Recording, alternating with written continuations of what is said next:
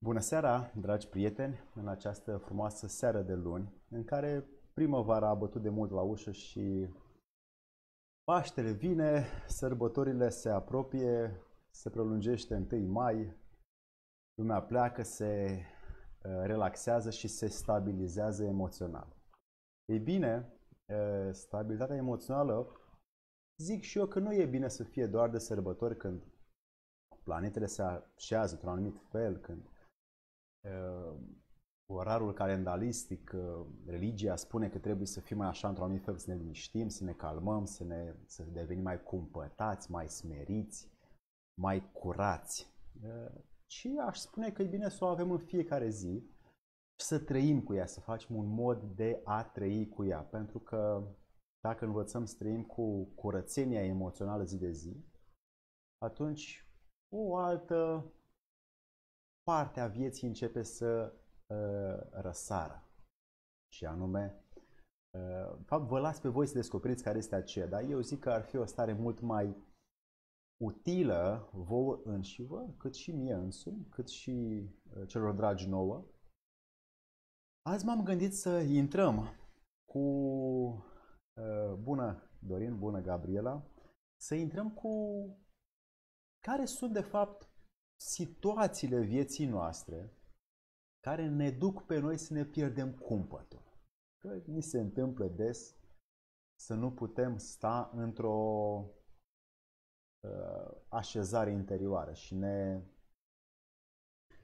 ne dislocăm de realitate, ne dislocăm de bunătate, ne dislocăm de fericire și ne relocăm într-o stare care uneori se numește uh, nervi, alteori se numește îngrijorare, supărare și așa mai departe. Ei bine, vreau să facem uh, din această emisiune o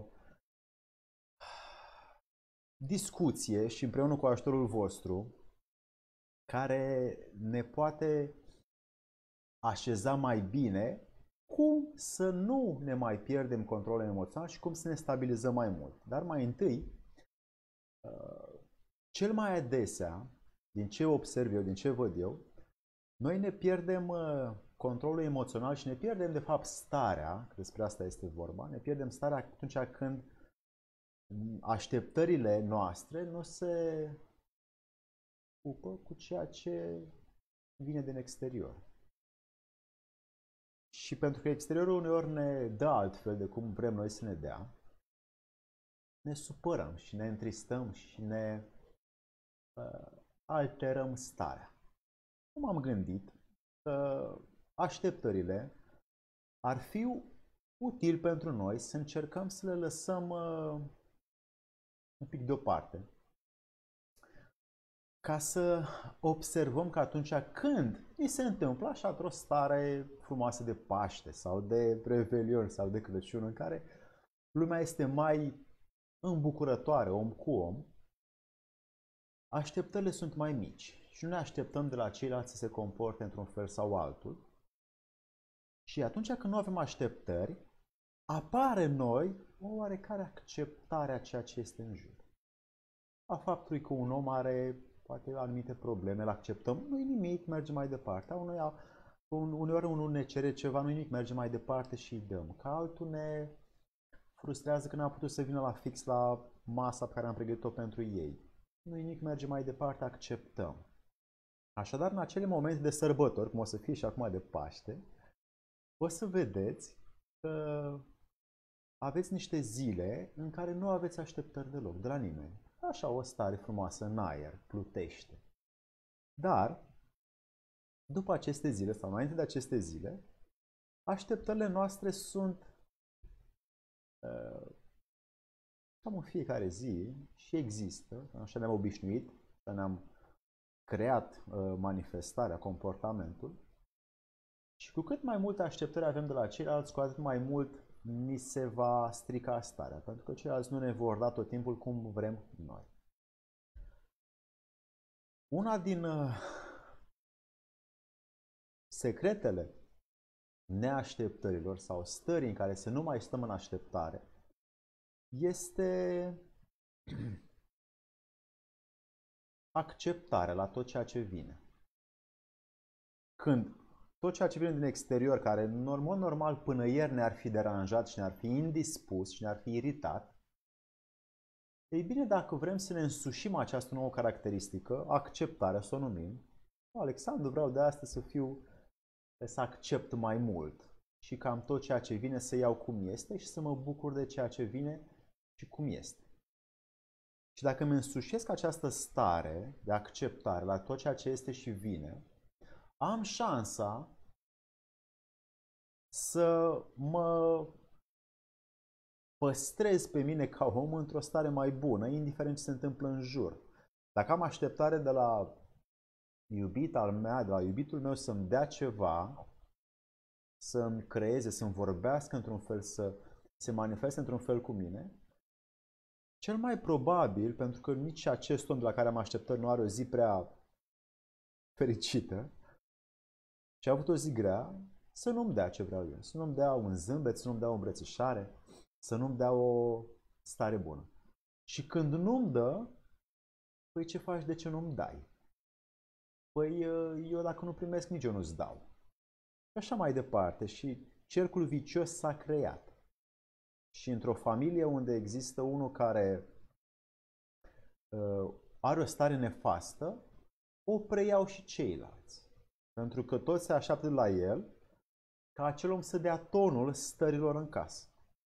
Are om o stare nefastă, toți ceilalți din casă au o stare nefastă. Are om o stare bună, e fericit, a mers bine la lucru, toți ceilalți au o stare bună. Însă eu nu vreau asta pentru voi. Da? Uh, Vasile, Cristina, Adrian, îmi pare bine că sunteți în această... Vă aștept și cu întrebări, pentru că sigur aveți întrebări. Spuneam în această seară la ce pierdem când nu ne controlăm emoțional, că așteptările sunt primele care ar fi util, verificați voi, să dispară din comportamentul nostru. Dacă așteptările dispar, așteptările de la ceea ce vrem să ne facă alții nouă, că așa ne-am obișnuit, că așa ne place, că așa ne e confortabil, dacă renunțăm la acestea, se creează puterea în om să se stabilizeze mai mult, să se echilibreze mai mult, să se ajusteze, organizeze mai mult în interior. Dacă el este uh, așteaptă ca soția să-i vorbească într-un fel, copilul să vorbească într-un fel, să primească acele rezultate, acele, acei bani, uh, acel comportament la ceilalți, așa cum preferă el, când ceilalți nu vor oferi așa cum preferă el, omul se va supăra. Ei bine, așteptările, da, sunt primul mecanism pe care eu îl văd la oamenii care uh, suferă. Suferă din multe motive, dese de altfel. Suferința e bună, dar uh, e bine să ai tot timpul un scop. Și pentru că vă doresc, vreau să vă păstrați cât mai mult starea înăuntru vostru, căutați să lăsați așteptările și să luați acceptarea. Îndepărtăm așteptările, lăsăm acceptarea să intre. Îndepărtez acceptările, le scot, le arunc, le evapor, le duc la gunoi și las acceptarea să vină la ceea ce este. La ceea ce este în mine. Acceptarea este dacă cineva în fața mea nu-mi place ce mi spune, nu-mi place ce mi face, Acceptarea este să observ, să înțeleg și să merg mai departe. Și poate să folosesc ceea ce spune acest om care mie nu-mi place.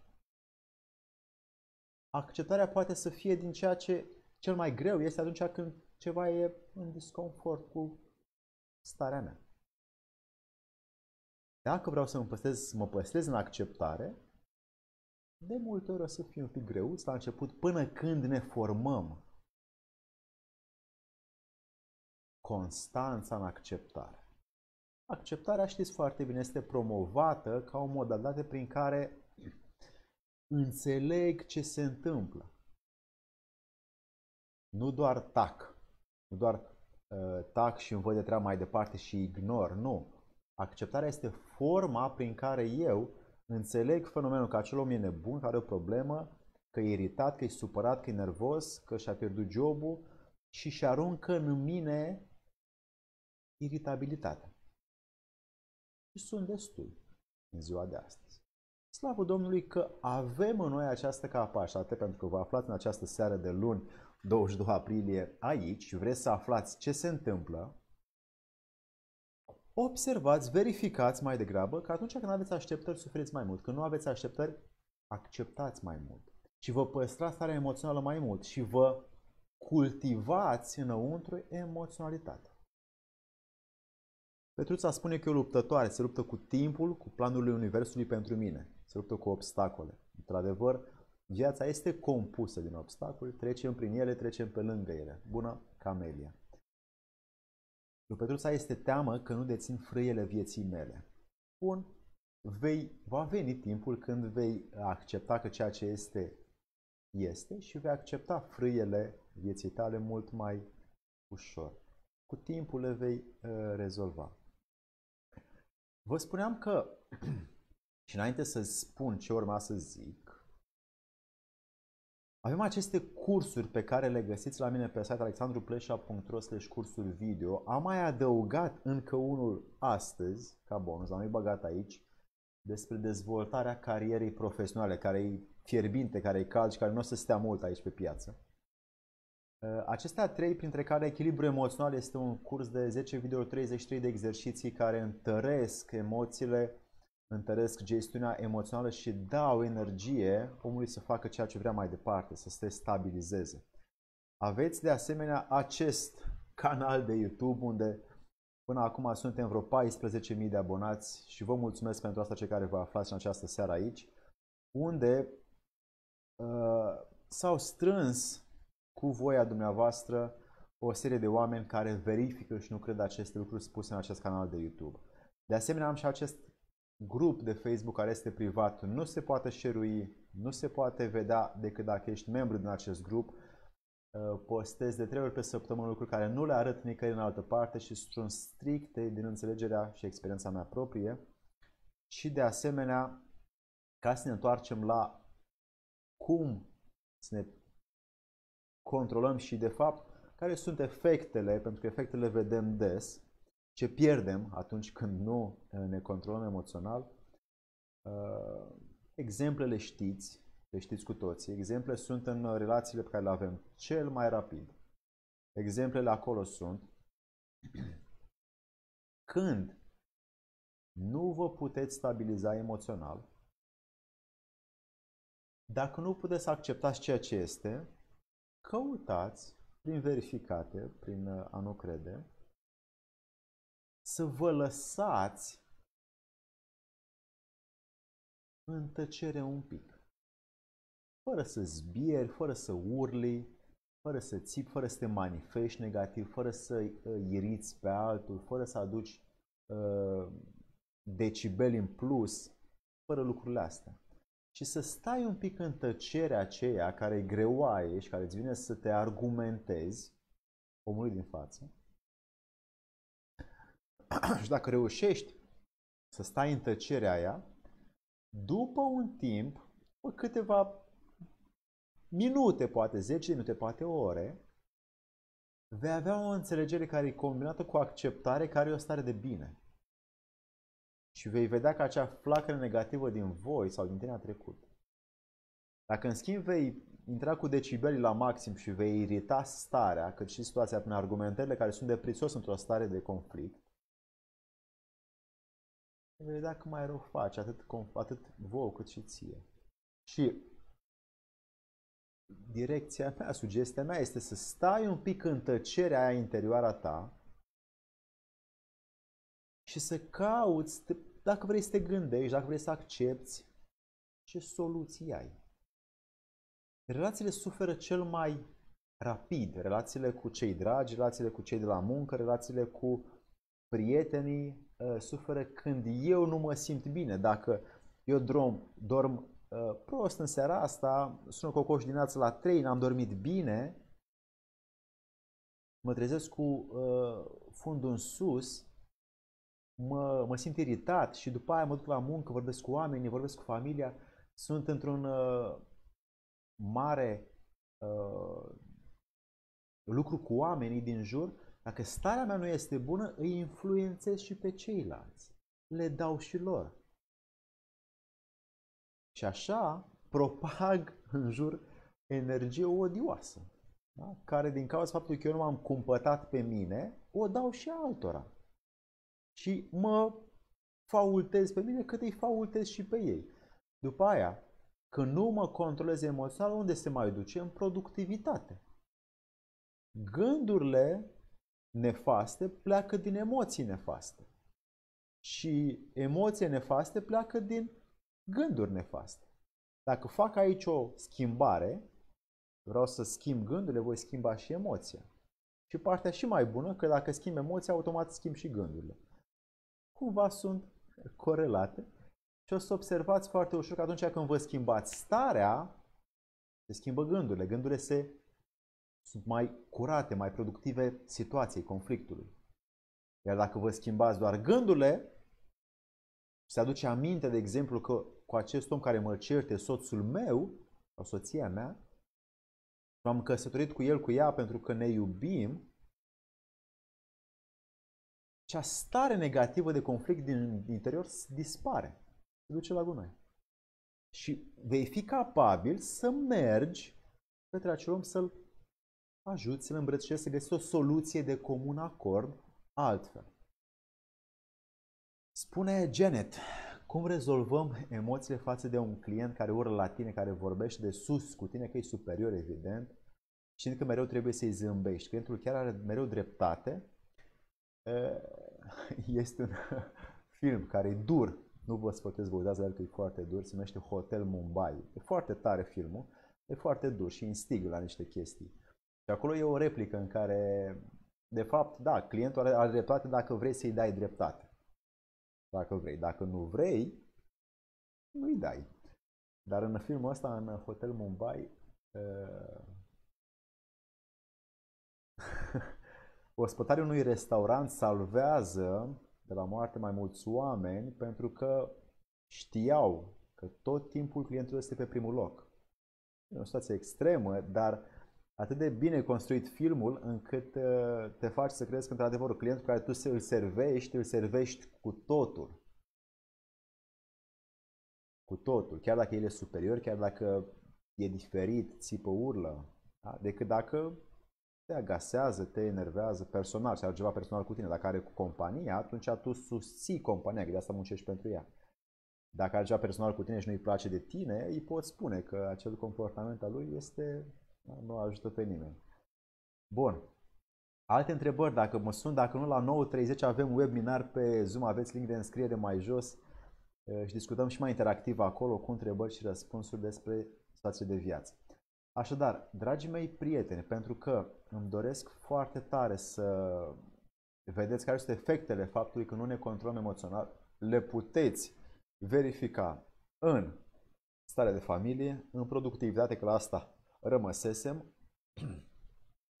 în productivitate, în faptul că atunci când eu nu sunt bine emoțional, nu memorez cum trebuie, nu uh, judec situația cum trebuie, nu ofer energie situației din jur cât trebuie, nu uh, cresc relațiile din jur, nu cresc munca pe care eu o fac, nu o cresc.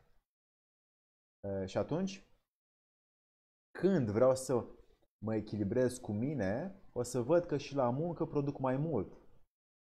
Deci productivitatea în muncă este un efect al echilibrului emoțional interior.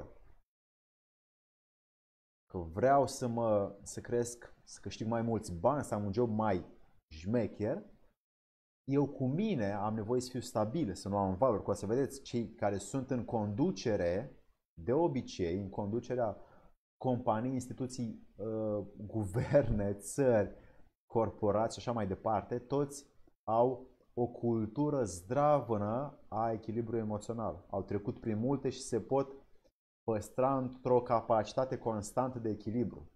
Nu-și pierd cumpătul, nu urlă la angajați, nu țipă, nu aruncă cu tigăile prin firmă. Și uh, acești oameni, pentru că sunt stabili, sunt propuși, cei mai de seamă, cei mai mari conducători sunt stabili emoțional și nu își dau voie să-și piardă cumpătul și să-i vadă angajați, să-i vadă CEO, să-i vadă directorii să-i vadă uh, oameni de la poartă. Nu. Oamenii din clasele înalte, dintr-o societate, de orice nivel de decizie vrei tu, de orice nivel de conducere vrei tu, sunt oameni care își echilibrează foarte, foarte bine stările. Și-au luptat, și-au muncit, și-au, s-au autoeducat în acest demers.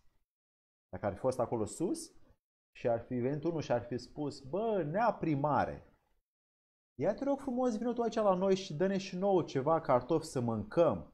Ar fi coborât primarul să se înjure cu oia să se... Da? Nu. Primarul lua decizii înțelepte controlându-se și găsind o situație, o soluție convenabilă pentru omul nemulțumit. Așadar, productivitatea în muncă atunci crește foarte mult când există echilibru, balans, control emoțional. Ce se mai pierde când uh, nu, uh, spune Petruța, aceste emoții trebuie descărcate de exemplu, o persoană care o iubesc mă supără, plâng. E ok? Da. Uh, uitați, verificați chestia asta. Când plângem, uh, dăm energia la o parte. Energia care poate să fie folosită către scopuri în găsirea soluțiilor. Când plângem, eliminăm energia și nu, nici soluțiile nu vin. Doar așa, o stare mai letargică. Dar când, în loc să, și poate uneori, uneori, verificați, ne abținem să plângem într-o situație grea, păstrăm energia în trup și o transformăm într-o soluție ca să găsesc cum să ies la acel conflict, la acea problemă. Pentru că tot timpul soluțiile au nevoie de energia omului. Nu, nu vin de la sine soluțiile, nu apar, nu cad din cer. Soluțiile sunt urma, efectul energiei umane. Bun. Uh, ce mai pierdem când nu ne controlăm? Da, pierdem cel mai mult, cel mai prețios lucru al nostru, pierdem starea dinăuntru nostru, pierdem jovialitatea sau bucuria sau atenția față de viață, tot ceea ce ne-a dat ea. Și nu mai ne simțim bine în pielea noastră, nu mai avem încredere în noi, nu mai vrem să dăm ochii cu unii oameni, ne, ne schimbăm starea foarte rapid. Da? Cel mai important lucru la noi este să căutăm, și după aia la ceilalți să oferim altora, este să căutăm să ne echilibrăm starea. Noi nu ne echilibrăm acum pentru că avem așteptări, am spus, pentru că încă nu învățăm să acceptăm, am spus, pentru că încă nu învățăm să găsim soluții, am spus, și pentru că încă nu avem antrenamentul să înțelegem ce se întâmplă în jurul nostru.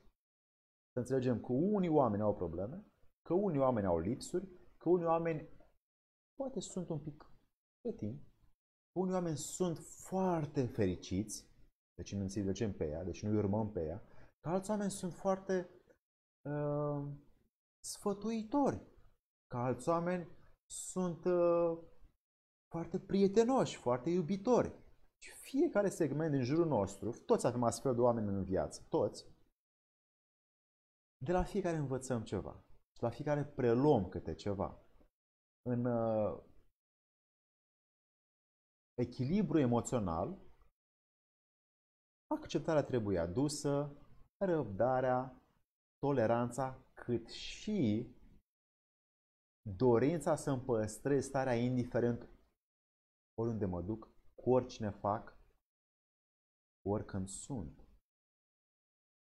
Cu cât mai mult eu mă Mă scuzați. Oprim telefonul. Așa. Cu cât mai mult eu mă duc într-o stare să îmi păstrez acest control emoțional, cu atât mai mult eu voi oferi și altora. Eu voi deveni inspirația, fascinația, exemplul altor oameni. Dacă mă duc și doar preiau și nu dau nimic în jur, pierd.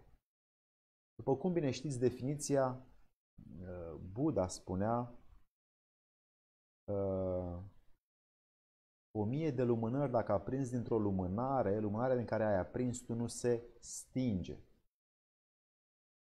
Așadar, tot ceea ce tu oferi în exterior este pentru că tu te-ai aprins și poți oferi balans, poți oferi echilibru, poți oferi uh, jovialitatea exteriorului tău. Și poți oferi din tine fără ca tu să te stingi. Și cu cât mai mult exersezi această stare, cu atât mai mult tu nu o să mai fii afectat, ci tu o să fii cel care deține, de, de, devine proprietarul momentului respectiv și oferă altora. Bun. Eh, dragii mei prieteni, această seară am vorbit despre cum să eh, ne controlăm și care sunt efectele când, când nu ne controlăm emoțional, pentru că sunt destule în familie, relații, prieteni, job, uh, orice, orice întreprindem și într-un business, dacă vrem să facem o afacere și nu putem să ne controlăm și să determinăm stări emoționale clienților noștri bune, ăla nu-i business. Ați văzut că marile companii din lume își trăinuiesc oamenii ca să ofere o stare de credibilitate, o stare de prestigiu, o stare de uh, siguranță omului. Acei oameni cumpără. Dar uh, acest mers al construirii stărilor bune este deja crescut, corporațiile mari îl fac. Ai nevoie la noi, cei de aici îndrădnici din lumea socială, să-l facem cu toții. De asta vă pierdeți azi 30 de minute, acum poate 30 de minute la webinar și după aia veniți și practicați sau veți practica cât mai mult pentru a vă gestiona corect emoțiile. Vă spuneam că la mine pe site avem aceste cursuri uh, video și astăzi am mai băgat încă unul foarte tare care îmi place foarte mult. Dezvoltarea carierei profesionale este proaspăt, este lansat astăzi, luni 22 aprilie, care nu o să fie prea mult pe piață, o să-l scot uh, când își atinge numărul de utilizatori ca uh, să-l facă, să-l verifice oamenii. Iar echilibrul emoțional este un curs de 33 de exerciții în 10-11 videouri care arată gestiunea corectă, controlul emoțional, încât noi să ne vindecăm, să ne sănătoșim și să ne curățăm emoțional de tot ceea ce este în jur. De asemenea, avem și cursul de slăbit, scăpat de burtă și renunțat la fumat pentru cei care încă viciile le uh, îi țin în viață. De asemenea, avem acest grup cu aproape 13-14.000 de utilizatori, uh, de subscriberi uh, și pe această care vă mulțumesc care vă aflați printre voi aici în această seară. De asemenea, acest grup închis uh, în care nimic nu poate fi șeruit în afară, nu se poate șerui, e un grup privat în care postez trei ori pe săptămână lucruri pe care uh, sunt din înțelegerea, din cercetările mele, investigațiile mele și sunt pentru a uh, crește o anumită categorie de oameni care vor acest lucru. Și de asemenea, avem și acest e-book 44 de metode pentru a depăși obstacole. Dragii mei prieteni, vă las în această seară cu uh, această situație care să o verificați voi în viața voastră, în care noi, voi, nu puteți să vă așezați de asta am făcut această emisiune, ca să vă puteți așeza emoțional înăuntru încât să furnizați și altora o să vedeți că în jurul vostru vor fi oameni care nu vor reuși. Chiar dacă voi veți reuși și vă veți putea controla, când aveți un conflict, bravo vouă, munca voastră, felicitări, o să vedeți că ceilalți din jurul vostru le va fi mai greu, pentru că nu au același interes cu al vostru să se controleze.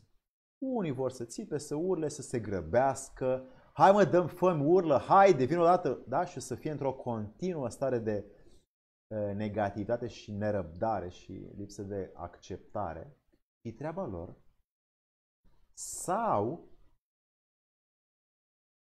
îi lăsați să fie cum sunt și mergeți voi către drumul vostru interior, echilibrându-vă, balansându-vă prin a vă păstra starea indiferent ce se întâmplă afară.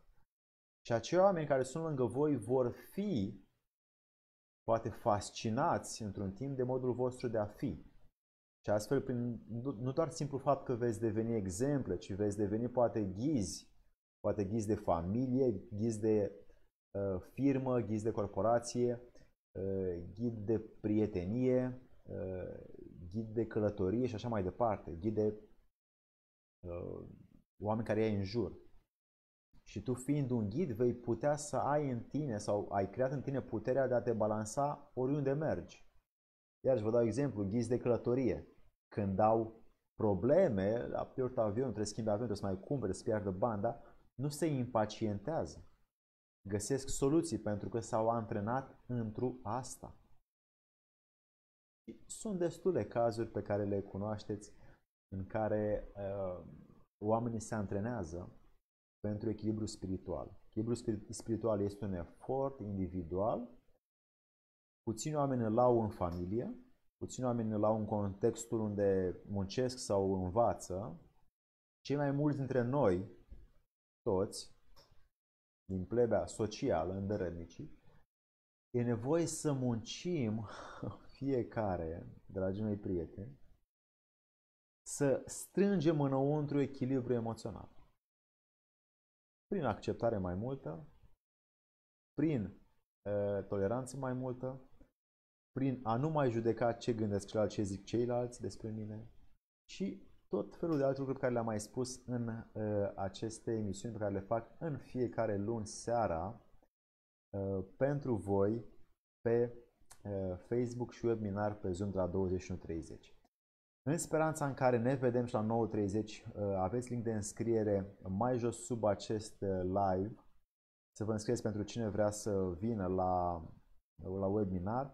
Acolo discutăm interactiv și avem întrebări și răspunsuri mai multe Uh, cum să facem să ne controlăm și de fapt că sunt și multe efecte fizice, o să discutăm și despre ele, efectele fizice, uh, pierdem foarte multă sănătate când nu ne controlăm.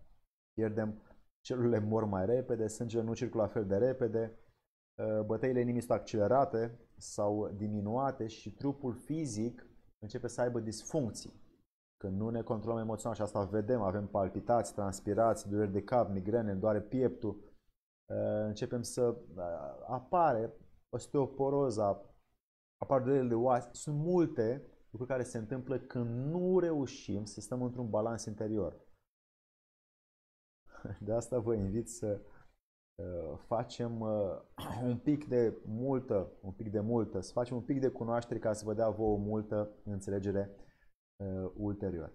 Dragii mei prieteni, aceasta a fost uh, întâlnirea de astăzi. Dacă mai aveți întrebări, uh, Vă aștept și pe, și pe comenturi, vă aștept și pe YouTube, vă aștept și pe webinar la 9.30 ca să intrăm și mai mult în uh, această școală pe care noi ar trebui să o facem cu noi înșine despre emoții, pentru că nu ne-a învățat nimeni la școală, în educație, în sistemul educațional, nu ne-a învățat nimeni cum să gestionăm această energie a, a plexului solar. Și azi când suntem mari și frumoși și puternici și zmei, trebuie să învățăm ca să ne autodeterminăm stele, să nu mai fim influențați de cei din jur. Și pentru asta e nevoie noi cu noi să muncim ca să ajungem la rezultate. Dragii mei prieteni, lunea viitoare nu ne vedem pentru că sunt sărbătorile, o să ne vedem abia pe 6 mai la aceeași oră, după cum bine știți, luni 6 mai, un subiect la fel de interesant. Vă mulțumesc pentru această seară, Uh, sărbători fericite și să vă lăsați spre controlul emoțional purtați. La revedere!